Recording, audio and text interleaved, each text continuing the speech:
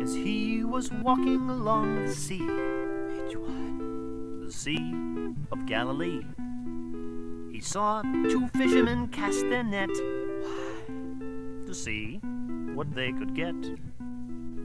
He singled Simon out by name. His brother Andrew also came. The son had come to make his claim. Come, come and follow me. Come follow me, I'll make of you fishers of men. Come follow me, I'll lead you to serve. Become a rock with keys to loose and bind. Come serve the flock, come net the fish you find. Come follow me, I'll make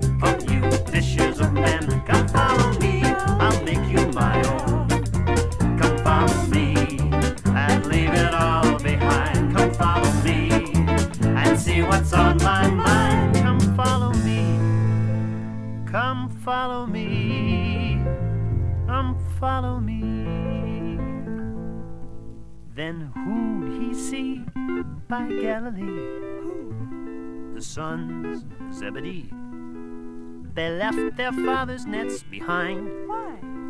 to see what fish they'd find. One was James and one was John. They dropped their nets, they labored on. Simply called and they were gone. Come, come and follow me. Come follow me, I'll make of you fishers of men. Come follow me and sit at my right. You are the ones I call to come awake. Become the sons of thunder from the lake. Come follow me, I'll make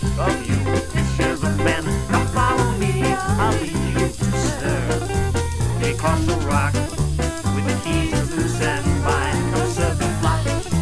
Come the fish you find. Come follow me, I'll make of you of. Come follow me, I'll make you my own. Come follow me and leave it all behind. Come follow me and what's on my mind. Come follow me. Come follow me. Come follow me. As he returned to the sea once more to walk along the shore where Levi's levy taxed the poor. He called at Levi's door. He went to Levi's house to eat. His followers were at his feet.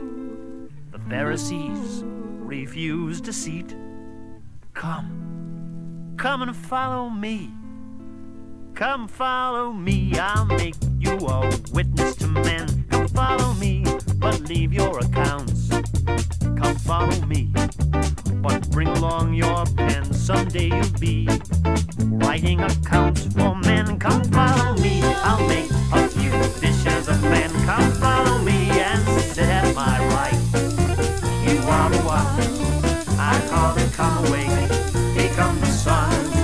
of thunder